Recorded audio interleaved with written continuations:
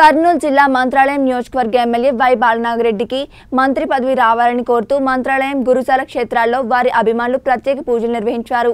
ముందుగా గ్రామ సర్పంచ్ తెల్లబండ్ల భీమయ్య వైఎస్ఆర్సీపీ పట్టణ ప్రధాన కార్యదర్శి అశోక్ రెడ్డి నేతృత్వంలో నాయకులు కార్యకర్తలతో కలిసి పాత ఊర్లో వెలిసిన శ్రీ రామలింగేశ్వర స్వామి దేవాలయంలో జల క్షీరాభిషేకాలు నిర్వహించి దేవాలయం ముందు నారికేళలు సమర్పించారు.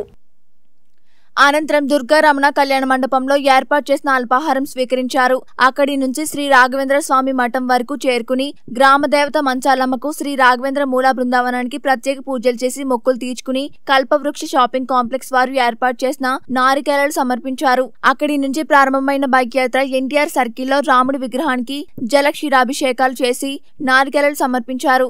అదేవిధంగా రాఘవేంద్ర సర్కిల్లో కొలువుదీరిన స్వామి విగ్రహాలకు పూలమాలలు వేసి ప్రత్యేక పూజలు నిర్వహించారు. అనంతరం రాఘవేంద్ర సర్కిల్లో ఉన్న దివంగత నేత వైఎస్ రాజశేఖర్ రెడ్డి విగ్రహానికి పూలమాలలు వేసి బైక్ ర్యాలీ నిర్వహించారు. గ్రామ శివారులో కొలువుదీరిన సుంకప్ప తాత దర్గా వద్ద పూజలు నిర్వహించారు. అక్కడి నుంచి రెండు వందల యాభై ద్విచక్ర వాహనాలతో బయలుదేరి నందవరం మండలం గురుజాల క్షేత్రానికి చేరుకుని తుంగభద్ర నదిలో పవిత్ర స్నానాలు చేసి జలాలతో శ్రీ రామలింగేశ్వర స్వామి దేవాలయంలో జల క్షీరాభిషేకాలు నిర్వహించిన అనంతరం నారికెలలు సమర్పించారు.